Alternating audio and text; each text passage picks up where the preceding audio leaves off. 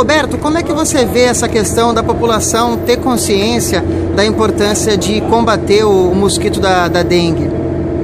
Eu acho muito bom, muito importante que isso aconteça, não só aqui em Salvador, como nos bairros periféricos e também nos municípios afastados, né? apesar de que é, não chega até lá tudo isso que tem aqui na cidade, né?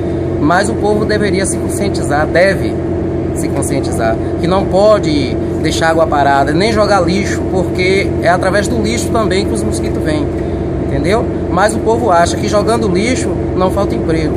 Isso não é a consciência, não é essa. É não jogar lixo para poder combater o mosquito e continuar sempre com a limpeza, porque é uma cidade limpa, fora de doença. É o Dia Nacional de Mobilização Zika Zero, né? Isso. Que a gente sempre lembre que continue com essa campanha, não só hoje, como sempre.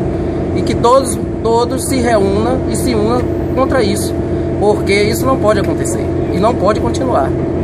Quem conversou com a gente foi Roberto Sales, ele trabalha no sistema de limpeza urbana da cidade de Salvador.